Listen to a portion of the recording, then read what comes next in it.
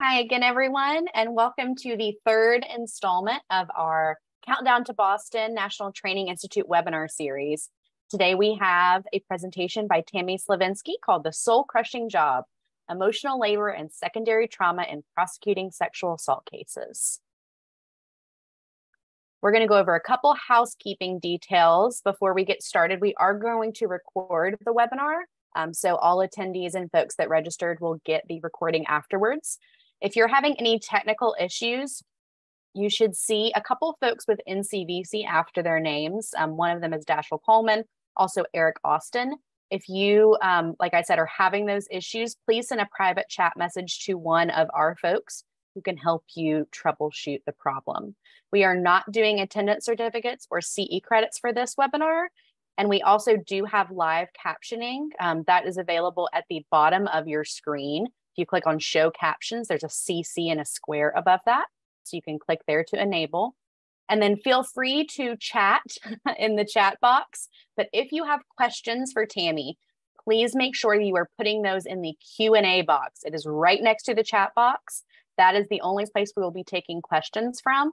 I'll be monitoring those along with the rest of the NCVC staff throughout the presentation, and Tammy will be answering those along the way. Next slide, please. And just as a reminder, I'm sure hopefully many of you have already registered for NTI. We would love to have you join us in Boston this September. We are filling up very quickly, especially the hotel. So if you want to register and attend to join us, please do so as soon as possible. Um, registration fees will also go up in price on August 2nd. So your best bet is to register right this minute. um, we also still have sponsorship and exhibiting opportunities available, and you're free to contact us at National Training Institute at victimsofcrime.org for any questions. Next slide, please.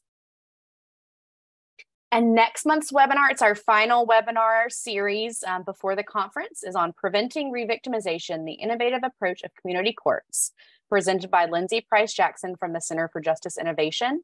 This webinar is on Wednesday, August 9th from 2 to 3 Eastern Standard Time, and you should receive emails to register for that in the coming days. Next slide, please. So now I'm going to introduce and turn it over to our uh, wonderful presenter today, Tammy Slavinsky with the Office for Victims of Crime Training and Technical Assistance Center, who's going to take it away. Tammy? Hello, everyone. I'm seeing some folks post in the chat. You're from all over, and that's really great. That's um, love to learn from people. So today I hope will be more of a discussion than simply me going through slides. So my name is Tammy Slavinsky. I use she, they pronouns, and I've been in the victim services field for over 25 years. My most recent work was on a college campus in Richmond, Virginia. I worked as a campus advocate, and then I did some Title IX work before I came to OVC Tech. So I would like to know who is in the room. We're going to do a poll. Um, let us know what your role is, hoping that we have some prosecutors with us today because that's the focus of the presentation, but the information is really relevant for anyone who works in victim services. So please fill out the poll. Let us know if you're with the prosecutor's office, legal services and other type of legal services, nonprofit or private sector, victim services, law enforcement, another nonprofit, mental health practitioner, you may work in academia, be a scholar or a faculty member or other, and please let us know in the chat box. Ah, we have a forensic nurse examiner. Thank you for being here. Adult Protective Services. A good friend who worked in APS for a long time. So thank you for the work that you do. We got students, advocates from all over. Thank you for being here. Plaintiff's lawyer, thank you for being here. And military folks, thank you for your service. All right, so maybe we can go ahead and take a look at the poll results and see what we have. All right, lots of victim services folks, welcome. Um, you have my heart. Thank you for all the work that you do. And we do have folks from the prosecutor's offices and other legal services. So thank you everyone for joining uh, us in the discussion today. I work with OVC TTAC, the Office for Victims of Crime Training and Technical Assistance Center, and we provide free training and technical assistance to really anyone who works in victim services across the nation. And we do that through training, free training, um, through technical assistance. I heard someone refer to it as professional advice, which I love. So if you're developing protocols, you're working on developing a multidisciplinary team, really anything that you do to increase your capacity to work with victims of crime effectively, we are here to help. So today we're going to be talking about some com common terms related to vicarious trauma because there are a lot of experts in this space and I want to hear from you what you think. I'm going to talk about some original research that I did back in 2018 with prosecutors who work sex crimes. And then I'm going to talk about the, we call it the VT org, the Vicarious Trauma Informed Organizational Toolkit. It's a great resource for organizations that are seeking to become vicarious trauma informed. And then of course, Q&A. So here are some common terms on the screen. Again, I know that we have a lot of experts in this space. So if you wouldn't mind using the chat to tell everyone what you think of or how you would define burnout, compassion fatigue, and vicarious trauma. And of course, we're going to talk more about the definitions for these terms, but I just wanted to lean into your expertise and please share what you think of when you think of any of these terms and feel free to post in the chat.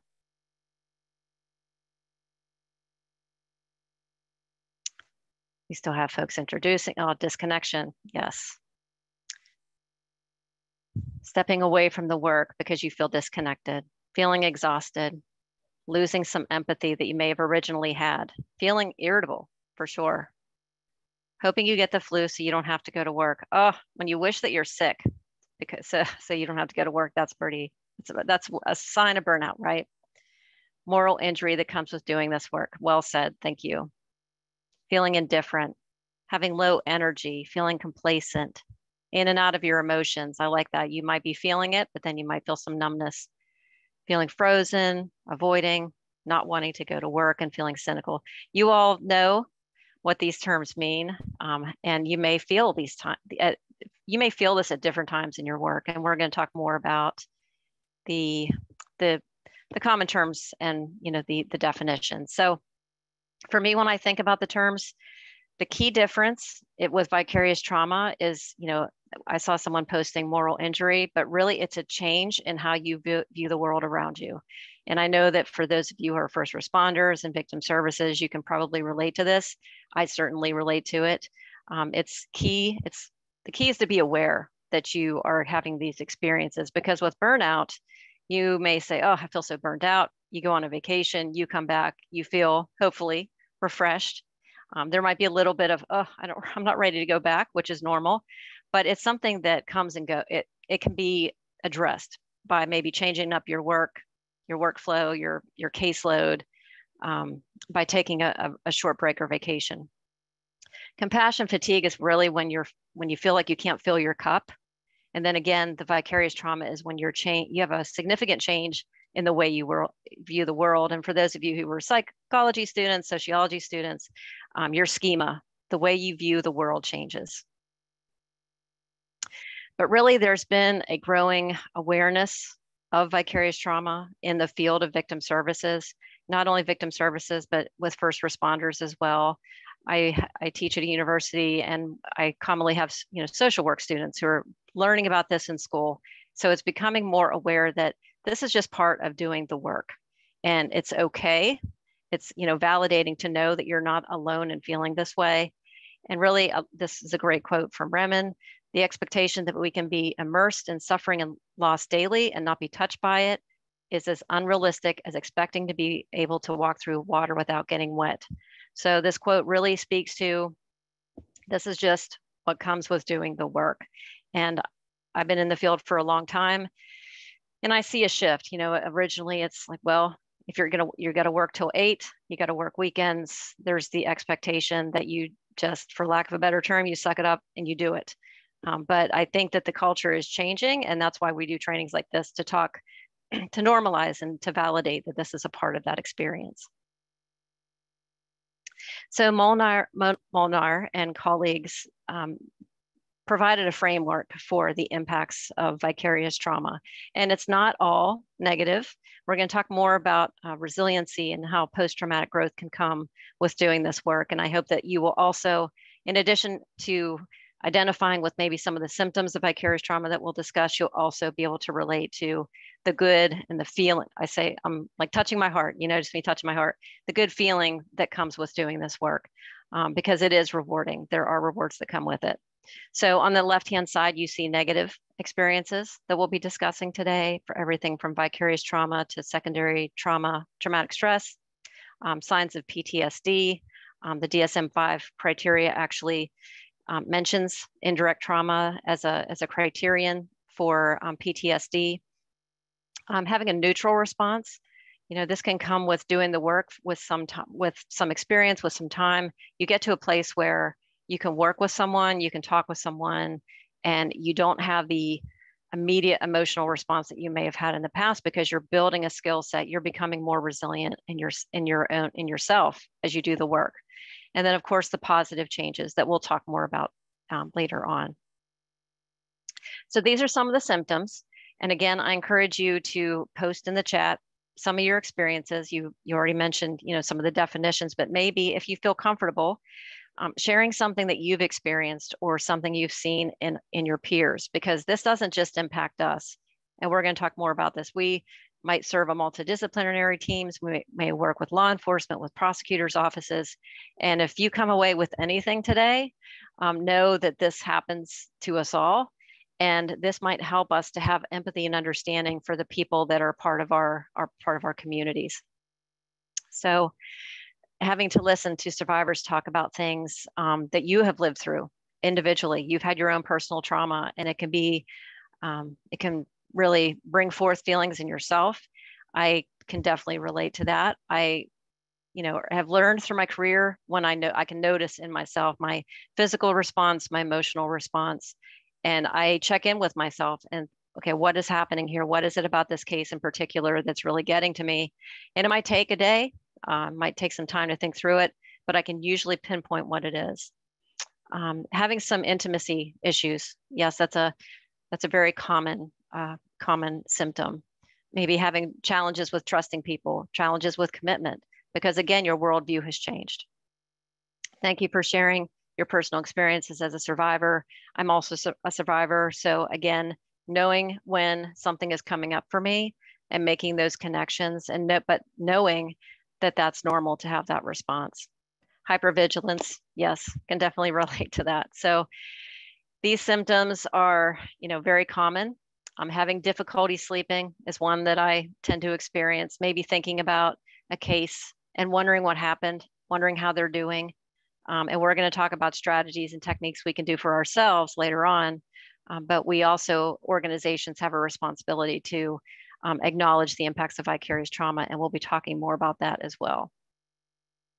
So I'm going to talk through some research. Please don't go to sleep. Um, so please stay with me.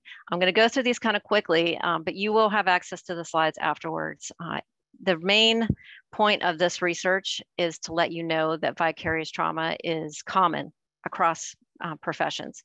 So in one study of victim advocates, you can see vicarious trauma and secondary trauma were found um, to co-occur among those um, who experience one form more likely than another. Burnout has also been shown to be a predictor of vicarious and secondary trauma. But importantly, and I bolded this, compassion satisfaction may serve as a protective factor. So acknowledging the importance and the value of the work that you do on a regular basis, taking the long view, um, having you know lifting up and looking down over the work that you do and having a vision for a better world um, this is you know what get would get me through when i did victim services i'm a huge science fiction fan i don't know if anybody else is but one of the reasons i love science fiction not the dystopian of course but um, it gives me hope for um, a better future So 50% of child protection staff also can experience high or very um, very high levels of compassion fatigue. Law enforcement experience at least one type of critical incident. Sexual assault nurse examiners. Um, I saw there's, you know, we have some folks in the space today that do that important work. They're also at risk for vicarious trauma. Forensic in interviewers, for example, who are being exposed to um, really traumatic images, you know, working with children, doing interviews, have talked about being unsupported by the system as a whole feeling like they have too many cases going from one case to, to another, um, and also having trauma spilling out into their personal lives. And several of you mentioned that, that that can impact relationships at home. So it's really important that family and loved ones know that this can impact um, you, us, me, as we do this work. There's also been um, signs of vicarious trauma in judges. And also the more you're exposed, the more that there can be a cumulative impact over time, which really makes sense if you think about it. So we're going to shift into prosecutors because that's why we are here today to talk about um, that group of folks that does very important work with representing um, survivors in the criminal legal system. So criminal lawyers, this was an Australian study, um, have reported significantly higher levels of distress and vicarious trauma, depression, and cognitive shifts in the way they view the world. So again, going back to that change in schema, change in worldview, and you know this impacts prosecutors as well. They can also learn to shield their emotions through their interactions with other court personnel. I'm going to talk a little bit about the study I did in 2018, and it was a qualitative study, and it was a sample of about 15 folks. I'm going to talk more about the sample shortly. But I met with, you know, again, did interviews with 15 people, and one of the prosecutors talked about the soul crushing job of doing prosecution work and another person mentioned this i you know i finally have got it off my chest. I've been wanting to tell someone all about this. It's been so frustrating. So i heard commonly over you know across the interviews that there's an expectation to shield emotions like we saw in the other study and an expectation you know expectation to keep it together keep going from case to case um, and not you know be not be open about their feelings with their peers which can be a real challenge because as will be shown, peer support helps to mitigate vicarious trauma. So here's some of the sample interview questions. In your experience, have what have been the main challenges and obstacles that you faced in your role in prosecuting campus sexual assault cases? I was focused on campus cases in particular because I was work when I was working in Title IX, I was interested in some of the tensions I was seeing between the campus process and the criminal legal process. And then looking at um, particular communities like the LGBTQ plus community and other rep- underrepresented minority groups, what are some of the particular challenges in prosecuting those cases? And then also please talk about areas where you have the most discretion. So these were the questions that I asked during the, some of the questions that I asked during the interviews, but what really elevated to the top um, in terms of themes was secondary trauma, evidence of secondary trauma. And I have a um, peer review um, journal that is out and available um, if you would like to learn more about the study overall. But again, we had 15 participants um, with a 56% response rate. This was a study that I conducted in Virginia, and I was identifying communities with a, a, college or university where prosecutors were assigned to prosecute the sex crimes at those campuses. We had a mix of urban and rural. Um, most folks were female identified, and um, as one participant mentioned, this was not a mis- uh, not an accident because she said that she had been in the field for decades, and she said that younger, um, less experienced, and female identified prosecutors were more likely to who were be assigned sex crime cases which can make it really difficult, especially if a prosecutor is also a survivor. And some of the prosecutors I interviewed did mention that. And we also had um, a a representation in terms of demographics and racial and ethnic diversity that was pretty comparable to what we see nationwide. So some of the themes in qualitative research, you identify themes and then you know talk about some of the reasons why some of these things may be happening. Um, so one of the some of these I'm elevating for you for this for this webinar because I think you know they're really important is the is a theme of bias and stereotypes in the system. And no one can say it better than the study participants. So I have some quotes here to describe some of the themes. Um, so basically, a belief in the system that there's more folks out there that make false claims of sexual assault than those who actually experience sexual assault. I know that those of you who have been in the victim services field, um, whether it's a year or 20 plus years like me, you're probably still hearing this bias and this stereotype, which can make it really challenging for a prosecutor who has a jury of folks who may also hold those biases and stereotypes. And then also there was concerns around first responders holding on to these stereotypes that can impact the way they respond to sexual assault victims. and this one in particular um, mentions the extreme bias and um, harassment, I would say, that a survivor who was transgender experienced in a courtroom with a judge who, in this case, intentionally humiliated um, someone um, because they didn't, you know, respect their pronouns, didn't respect their gender identity, and they were going to assign them to the male population um, upon conviction, even though um, this survivor was a trans woman. And again, from the standpoint of this prosecutor, um, I literally have goosebumps talking about this. This is why research can be so amazing. I can remember, you know, watching their faces, they were telling me this story and how much it hurt them as a prosecutor to have um, their survivor that they were working with be treated that way.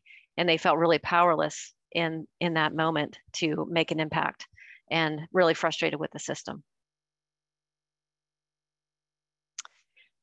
So another one that really reflects the theme of secondary and vicarious trauma. What I tell new attorneys that come to me and say, I want to be a prosecutor, um, she says to students, that's wonderful, but it's a soul crushing job. You may lose your ability to feel. And she talks about when she was chopping vegetables and watching the news when Sandy Hook happened, and she had a moment where it was just numbness. She just could not take on the emotional impact, you know, could not feel the emotion that would really probably happened with anyone that was watching um, the news when that happened. And she was had been a prosecutor previously. She was out two years, and she was still she was just beginning to get her emotionals back, getting her emotions back. Andy, we and, do have one question. I'm sorry to interrupt. Sure, no, thank you. Um, so we have two, but one of them wants to wait for later. So the one for now is what can we do as attorneys when judges are hateful and disrespectful towards survivors? That's a really great question because people have different relationships with their judges. And if there's any way that you can build a relationship so that you can have a conversation with them, I've been in the situations where um, insensitive things were said to a survivor. And, you know, as a, a victim advocate, my, you know, there are differences in power um, in any system. And there are situations where I felt like I could say something. And there were situations where I felt like I could not, um, just being transparent. And in those moments, I would check in with the survivor and say, you know, what they said was not okay. And I work with a community multidisciplinary team. You know, I I have relationships that I've built with folks so that we can have conversations so that something like that doesn't happen again. But that's where the relationships come in come into play because if you don't have a relationship, there is an element of formal, you know, formality in the courtroom. And in the moment, you may not be able to say something then, but maybe you can talk with them at another point. And also the generalization of law enforcement, I'm seeing some comments about that. You know, this study was done in 2018, and that was a comment from one prosecutor um, who had um, a couple decades of experience. And they, you know, since 2018, we ha do have a lot more um, training on trauma informed response and victimology than we did at the time of the study. So thank you for sharing that. It's important to always acknowledge how we are growing and changing in the movement. So another theme is emotional labor, um, trying to be, this is one comment. So being realistic about the, what the process looks like to survivors and say that the only way we you know, make any change is by trying these cases, bringing them out of the darkness and out of the silence and trying to bring them to court. And we will do it together as a team and we'll walk down that path together. And they would explain to survivors that it's a marathon. So with emotional labor, um, it's really the silent work of evoking and expressing feeling. There was some research that was originally done with people in customer service, but I felt like this theory really applied to the prosecutors because they were talking about the ways they needed to shield their own emotions and suppress their own emotions, you know, in the courtroom, but then also how they tried to manage the feelings of the survivors. So they would do courtroom tours, they would have separate spaces for them to wait.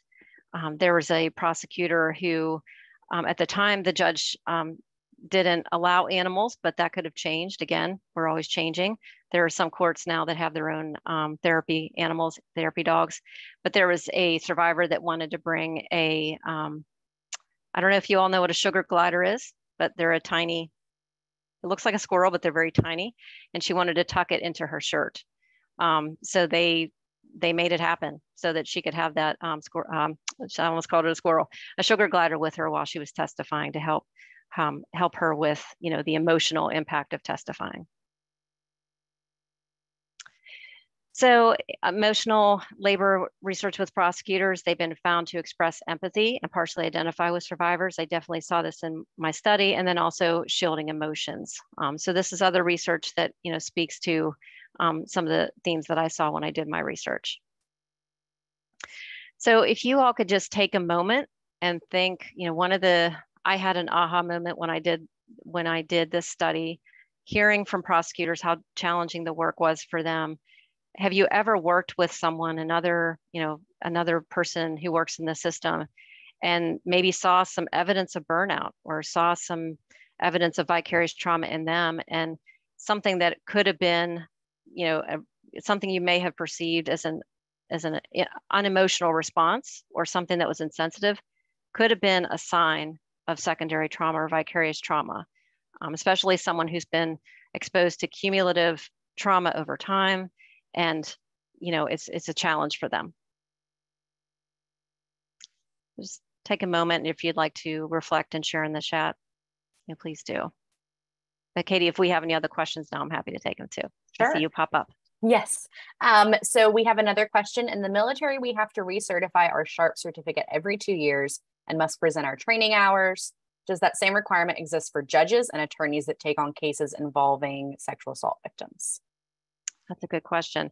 I don't know of anything that is specific to um, working with sexual assault survivors. I know that there are CEUs associated with any profession, but I'm not sure about, you know, for example, um, trauma-informed response. You know, that's that's specific to that. But that's sure. a great question.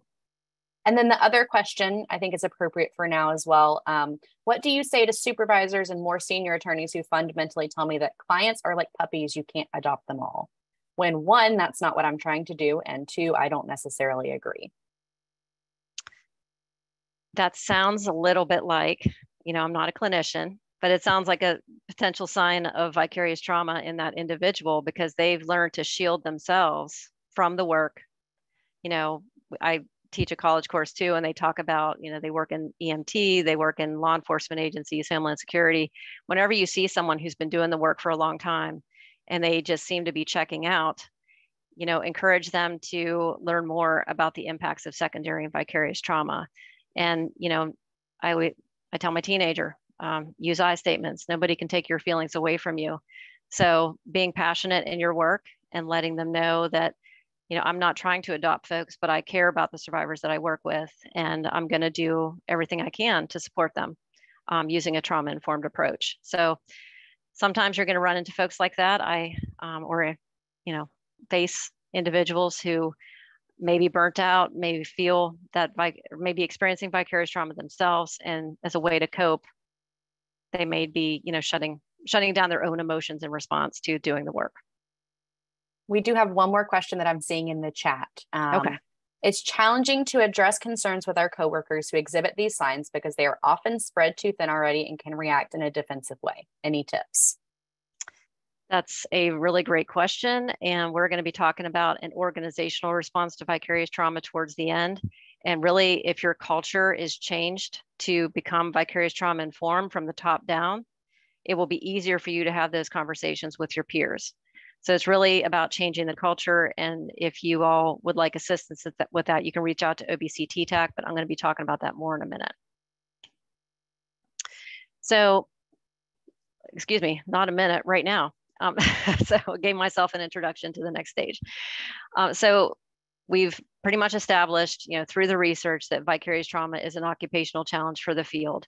Um, anyone who's a first responder who works with victim services and also a vicarious trauma or informed organization acknowledges this, that it's part of the work, and also assumes responsibility for proactively addressing the impact of vicarious trauma through changing its policies, its procedures, its practices. So again, if you have that culture in place where from leadership on down, there's an expectation that, you know, we check in with each other.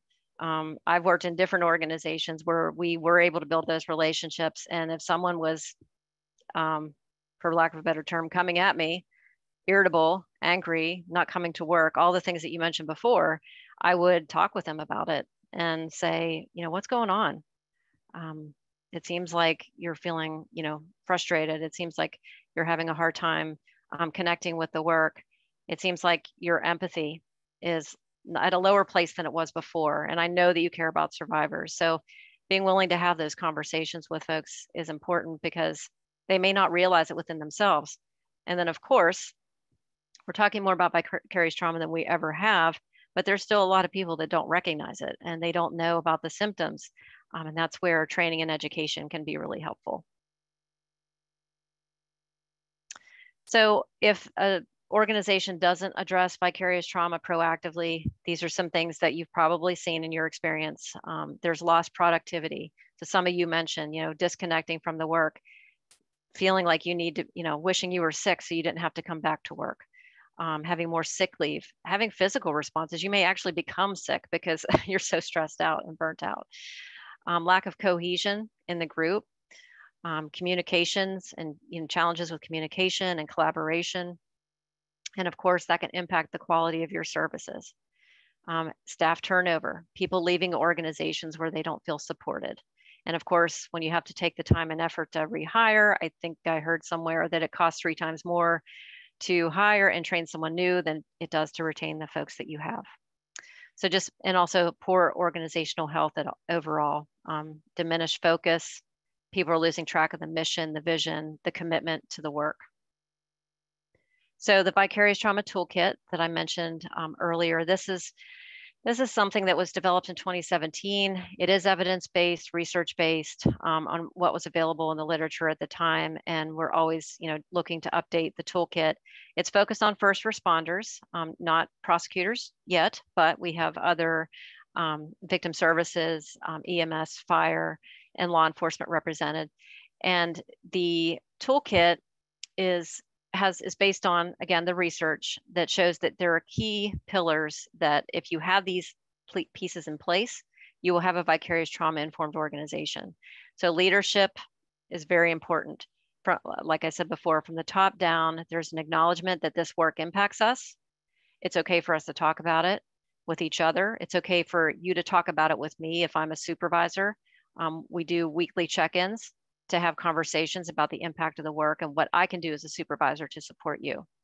That also goes to management and supervision, employee empowerment and work environment, training and professional development, giving people opportunities to grow where they want to grow, um, not just the director of the organization, but everyone in the organization.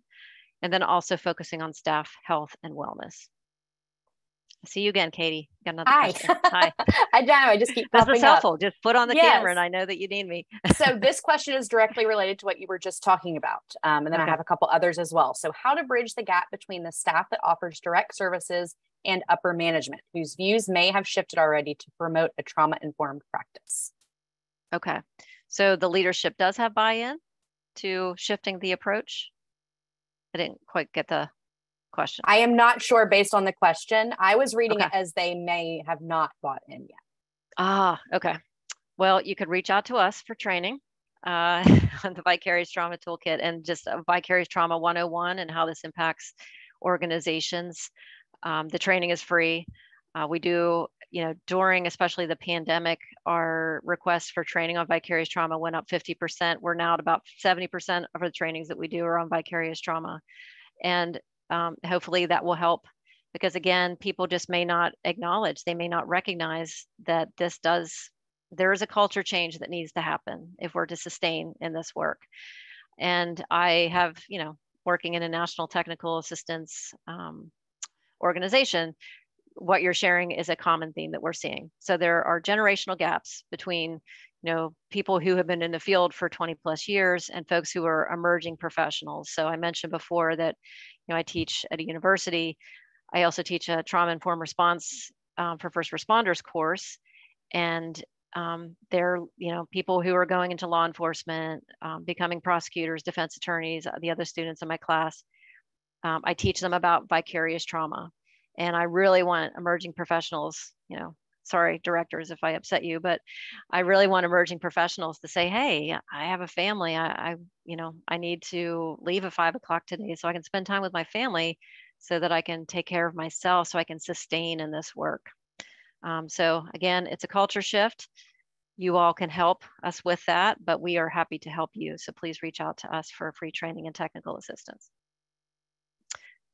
We have another question, question okay. about tips for interacting with state's attorneys, specifically talking about victims waiting to hear if charges will be filed and they won't even return calls from organizations advocates. If you have any ideas around how to interact with them. Well, I building the relationships is important. And I know that sometimes that's a one way street and you have to work really hard to build those relationships and build trust so that people, because you know there's research that talks about the the conflicts and roles between um, victim services, uh, law enforcement, you know, prosecutors. You know, the end game can be a little bit different. The end goal can be a little bit different, but that we are professionals who work together. Um, we are trying. We all can agree that we're trying to better society, right? So let's start there. And I would go. I would invite people out for a drink. I would invite people out for dinner. Uh, my favorite thing to do was invite them to training. And when you would go to training in person, especially, you'd go somewhere together, you would connect, um, maybe learn a little bit more about them. And I, I was, you know, not successful with everyone, um, but I also, you know, when I worked very closely with um, with law enforcement too, and whenever I also try to acknowledge when the good things happened so I would send letters because I knew that in their promotion file, it was important to have acknowledgments when it came up for promotion time. So I would send a letter to the chief of police and say, I just want to acknowledge the work that this officer did with this um, with this survivor. It was very trauma informed. So remembering to acknowledge the good that people are doing, like some of you were mentioning in the chat, um, not generalizing that it's all negative. That's a very important point. All right, I have one more for you, Tammy. Sure. I'm going to let you keep That's going, okay. and we'll come back to some no, of the no. other ones. Let me look at my um, How do we protect here. ourselves? How do we protect ourselves from vicarious trauma when the survivor you're serving experienced something you have personally experienced? When mm. I share that I am a survivor, they apologize to me for having to share their story, but I want them to know that I'm here to help. Hmm. So, and this is just for me. Um, I usually did not, sh- I'm a survivor, but I usually did not share that with other survivors because then I found that they wanted to take care of me. And in that space, in that moment, I wanted them to know that I was there for them. Um, I, there were situations where I felt like it was needed um, because someone felt like I, you know, didn't understand what it would be like but I didn't go into details about my experience because again, I wanted to center on what they needed. Um, so, you know, so I'm not saying don't ever share, but I'm saying that, you know, I, I would choose and pick when that was, um, when it seemed like it was a, a good moment to share that so that it was always centered on their experience because I did find that they wanted to take care of me. Um, and I, you know, I learned early on that it was probably best to only save that for certain situations. So the vicarious trauma um, VT org is what we call it for short. It's uh, we haven't there's an assessment that's part of the toolkit, and it doesn't measure your own secondary trauma or vicarious trauma. I'm going to share a tool with you at the end that you can do that, the ProQOL sur survey. But the VT org um, assesses the organization's basically the employee's perception of their performance over the past six months on certain key items. So, you know, for example, um, I have adequate vacation, you know, never to always, it's like a Likert response scale. And we always encourage people to give this assessment to all the staff because I remember working in an office where the um, office assistant who answered the phone, you know, answer, answered the door, came to me one time and said, I, I did not know that how hard this work could be. Can we can we talk? And we ended up doing some role plays um, because they wanted some basic language that they could share with survivors to help them because they were starting to feel impacted by the work. So it's really important to include everyone. Maybe someone even that does your books because they are likely to hear stories in the hallway or hear other folks share experiences that might be you know cause them to feel some indirect trauma. And then when you do the assessment, it helps you to identify areas for strengths and for improvement. So this is just one example. leaders model a healthy work-life balance.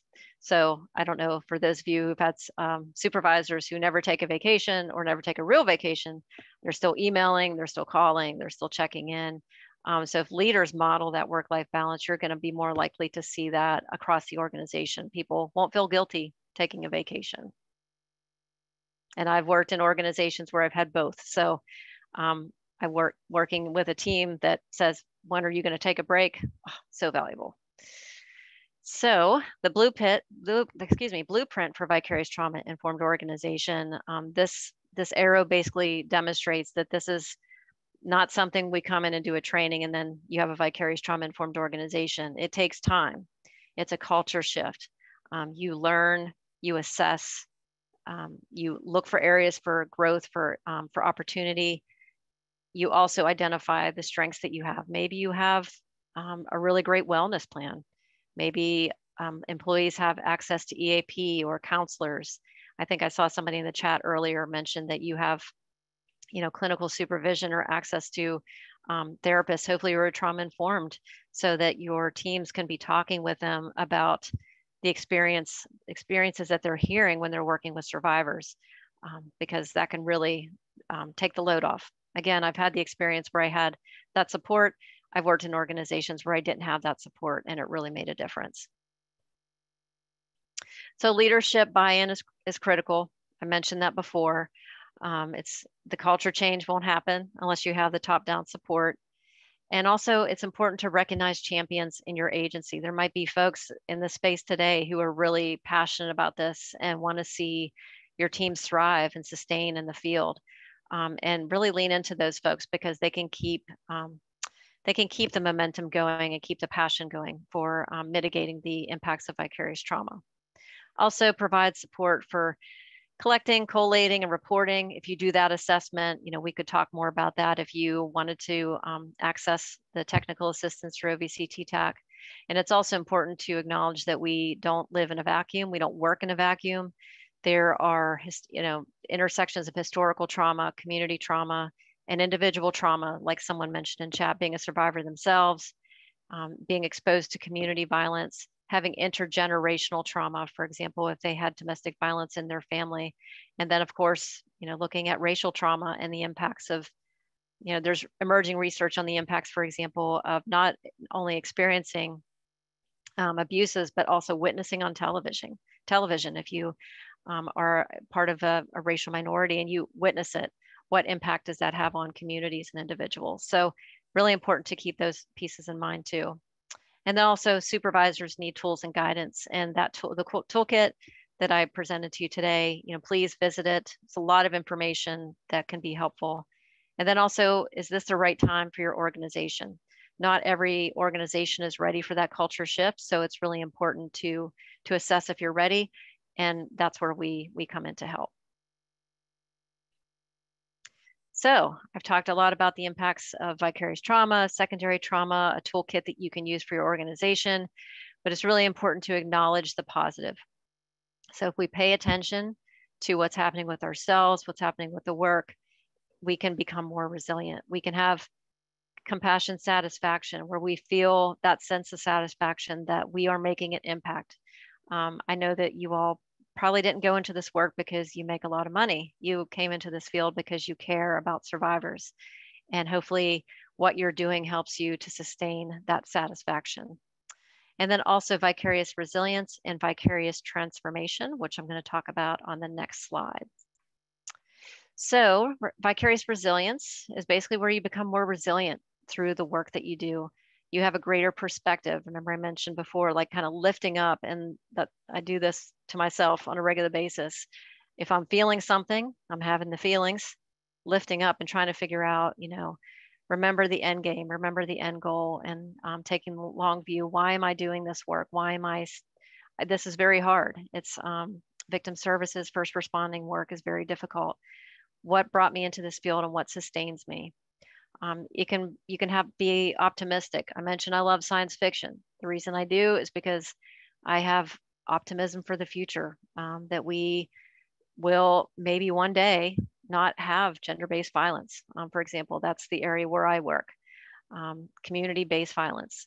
if we get to a point where we're able to address some of the greater societal issues that we face on a regular basis, maybe we can get there.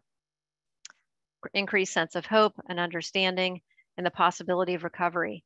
Um, you may see this in the people that you work with. You see them overcoming significant challenges and barriers and still coming through on the other side um, and you know doing doing what they want to do and you know getting the outcomes getting obtaining the goal achieving the goals that they want to achieve whatever justice looks like for them um, getting a sense of satisfaction from that and then having a renewed commitment to the work and finding meaning. Why am i still doing this? This is hard but i'm still doing this and i'm doing this for a reason. So vicarious transformation, I have a quote here on the slide. Um, it's really integrating that larger understanding of humanity as a result of facing the truths of our humanity of our humanity. We're facing these traumatic events. We are hearing these stories. We're exposed to horrific images and it can result in a positive transformation. We have this empathic engagement with the people that we work with. We see their courage. They uh, we witness the struggles that they go through and again they get to the other side. And we also acknowledge the changes within ourselves so it's really easy and what, what we talked about before with the person who you can't adopt everyone. Um, it sounds like maybe they're not engaging with the impacts of the work within themselves and they're choosing to set those um, set up that wall instead of you know taking on um, or acknowledging the way that this work impacts them. So given what you know about resiliency, is there anything that you can do and you're welcome to post it in the chat, you know, think on it, reach out to us for support, um, for ideas. I'm gonna share information at the end. How can you enhance resiliency within your teams? Um, so I, someone mentioned before that, you know, they, if they have a colleague and are seeing that evidence of burnout and vicarious trauma, what can you do to help support them in mitigating the impacts. And Katie, do we have another question? We do. Um, I'll okay. ask these two while folks are typing. So, how can okay. staff share their inherent on the job compassion injuries with upper management without feeling like their statements will be documented or looked down upon? That's that's a really great question because the reality is in some professions that acknowledgement can result in retribution. Um, I'm thinking about healthcare responders, for example. I don't know if you all recall there was a, a physician, a new, um, she had a newer physician who um, died by suicide during the um, pandemic um, because she was afraid to acknowledge the impacts of the work. And that resulted in federal level change and training and education in the healthcare field because I did not know this until um, we talked about it in my class that there were professional repercussions. If you were seen to have a mental health a behavioral health condition that that could be could result in you, you losing your licensure. So there needs to really be change in an org at the organizational level and the public policy level that this work again it's the the culture is shifting but it's not we're not at the other side of it yet. So we're still trying to educate organizations and systems so that they acknowledge a that this happens and B, that we have an organizational responsibility to address it. And as a supervisor, I want you to be able to come to me and say, I need a break, or this is really getting to me, or I'm a survivor. And when this person told me their story, I've had physical responses, I had emotional responses, I'm having trouble sleeping, and know that your supervisor will not write you up or, you know, think that you're weak. Because in, in my opinion, no, is just Tammy talking, that shows strength when you can admit that something is getting to you because it gets to everybody. And how do we encourage law enforcement, states attorneys, judges, et cetera, to get training when frankly we have no business doing so? Hmm. I'm going to go back to the relationship building. Uh, if you're able to have conversations with um, one prosecutor, one police officer, um, just build a relationship with someone who knows someone there's usually a champion in any organization. I knew of an officer um, who, you know, they wanted to start a peer support program. That's something else that is really coming into fruition over the last decade or so. Again, acknowledging that this work is hard. um, who was having challenges with getting their leadership buy-in for peer support. But I checked in with them recently and now they have it. There's just more conversation. Um, International Association of Chiefs of Police have a vicarious trauma program. Um, and I, there are, are, also resources out there for trauma informed courts. Um, I, I know it can be difficult when you feel like it's not your place or not your business, but trying to make connections with people who can make that happen. And um, again, if you bring in free training and technical assistance to your area, inviting those folks to to join. Um, and we can you know help you with that and try to identify ways to build those connections and then what we usually do when we do training is we find someone from law enforcement from a prosecutor's office a judge to deliver the training. And then um, I know, Katie, you mentioned at, at the start of the hour that we aren't offering CEUs for this training, but I usually recommend to people that they try to get CEUs so they can draw people in for the training. And the training doesn't change everything overnight, but it can start a discussion. Okay. So addressing vicarious trauma, we have, you know, keep the questions coming. We're here um, together th three o'clock Eastern time, but I want to talk a little bit about addressing it. Again, acknowledging that this is part of the work. It's okay to ask for help. You're not alone. And I hope it's okay for you to ask for help. Um, and if it's not okay, um, you know, please reach out to us for, um, for training and technical assistance. Hopefully, if we come into your community, it doesn't necessarily have to be your agency, but if there are other agencies and we all, you know, we have a training on this topic, hopefully it'll generate some discussions. So for yourself, um, you know, regular vacations, work and computer free. I have a colleague who uh, told me that they, when they're on vacation, they just know when they come back, it's just going to be too much. There's going to be, and they happen to be a prosecutor. So they're, they knew that their inbox would be full, their voicemail would be full. So they designate one hour during their vacation per day where they're able to just take care of some things so they don't come back and feel overwhelmed. And that also helps them to um, appreciate and be engaged in their current vacation because they're not worried about that inbox that they're going to come back to. Staycation, if you don't want to go away, um, find a local um, tourist attraction that you haven't visited in your area. Um, exercise, the research is clear. Any type of movement, movement that you can do helps. Um, healthy eating, having a regular sleep schedule. There's so many sleep apps out there now that can be helpful. I have people that swear by, I know people that swear by them. Scheduling breaks throughout the day um, to check your email, to try to have some time where you um, can reflect on your day and again, take that long view and just, you know, regroup. And please feel free to share in the chat what works for you because everybody is different. Taking a real lunch. Um, I'm guilty, I've been guilty of this eating at my desk. One of my favorite things to do is to just go outside I remember one time when I was working on campus, I disappeared for uh, 45 minutes and I left my phone on my desk and they called um, campus police because I was gone from my desk and I didn't have my phone with me. And I was like, you know what? I was taking a break. I didn't want to be contacted. Uh, so it's it's important to take breaks. Setting clear work boundaries, um, letting people know when you've reached your limit and you need to take a break having activities and hobbies outside of work, and connecting with people that you love. Mindfulness practice, the research shows if you're able to be in the moment, um, it really makes an impact. Let me see if I have my, oh, I do. I have a little frog here. So this is a frog statue that I found in the woods when I was walking my dog um, a few weeks ago. And I was mine, I was trying to be mindful be in the moment and I was looking at my surroundings and I looked down and I saw this this frog buried in the in the mud. And if I had not been mindful and um, had been on my phone or had been thinking about the million things that I need to do, I probably wouldn't have found that frog. So it's a good reminder to me. Meditation, yoga practice. My sister loves yoga. I love to run. I love to move. I love to exercise. That's what works for me. Do what works for you. And of course, laughter. Um, being able to laugh is important.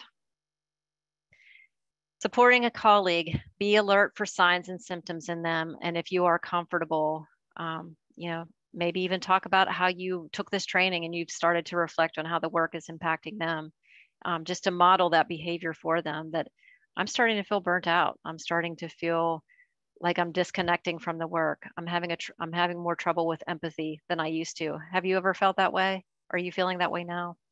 Um, think about how you want to be supported and let people know. So let your supervisor know how you like to be supported because again, everyone is different. These are some of the tools that I mentioned before. Um, the ProQOL survey is what you can take individually to assess your level of um, secondary trauma or compassion uh, fatigue. And it's really important if you acknowledge it within yourself, it's a first step. Once you identify, trying to determine ways that you can address it. And again, you can have your own strategies that I mentioned in the last couple of slides, but it's really important for organizations to um, have a vicarious trauma informed approach with their staff. And then also I wanted to mention low impact debriefing. I have been guilty of doing this in the past when I worked with a team. Having, you know, heard a really challenging story or narrative from a survivor and then going and talking to my colleague about it. Um, I wish I would have known that what I knew now. I'm always learning, but I'm basically exposing them to the indirect trauma of the person that I just worked with. And then they also have their own caseload. So keep in mind this low impact debriefing. I'm sorry it's small on the screen, but the TEND Academy has a lot of great resources like this. So letting someone know that, hey, I just heard a really um, challenging story from someone. Is it okay if I talk with you? So asking for consent before you share, for example, and then thinking about what do I need to share with them in order for me to get through um, to help mitigate my own stress. Do they need to know all the details or can I just share a couple of um, feelings that I'm having as a result of what I just heard? Here is my contact information, um. I saw that someone asked um, for a copy of the toolkit and things like that. Katie, I'd be happy to share links to the toolkit and um, with you if you are able to share those after the event today. But our website has a wealth of information. And if you would like to reach out to us for um, free training and technical assistance, please do so. All right, and you've got a couple more questions. Okay. Um, what kinds of team practices would you recommend to teams to build team resilience? What kind of practice do you suggest supervisors of interns or junior staff that are not spending as much time in the work, but definitely are exposed quickly and deeply in the issue? Well, with, well, one thing I would think, um, well, one thing that comes to mind is that I would try not to assume that people are not impacted if they're exposed to it less. Because we've been hearing, you know, in the field that people who do the billing can be exposed to um, traumatic stories or hear things or see things. Um, so just start from the place that this impacts all of us and um, be and creating that space, especially during one-on-ones where one of the things I've one example that I heard earlier or recently that I love is asking someone, what do you want out of these supervision sessions? Where do, where do you like to begin? Let's set the agenda together. So, because some people aren't comfortable sharing their emotional response to the work. Some people are. So it's really important to customize it based on, on what um, your staff need. And again, that assessment can be really beneficial because things will rise to the surface, areas where you as a supervisor can hone in um, to try to improve upon. Um, so for example, the work-life balance, are you demonstrating a work-life balance so that the rest of your rest of your folks feel like they can? Great. And your last question is, how can you help a coworker that you've seen presenting with burnout and vicarious trauma, but you don't know how to approach that person because he or she does not want to share or that they're private? Right.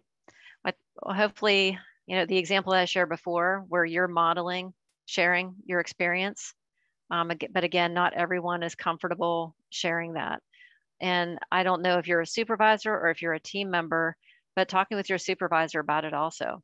And you don't necessarily have to call out that person, but you can say, you know, I think that we would really benefit from having some conversation around the impacts of this work, just so that we can acknowledge that it's happening.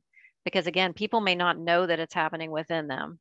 And it, once they know, they know.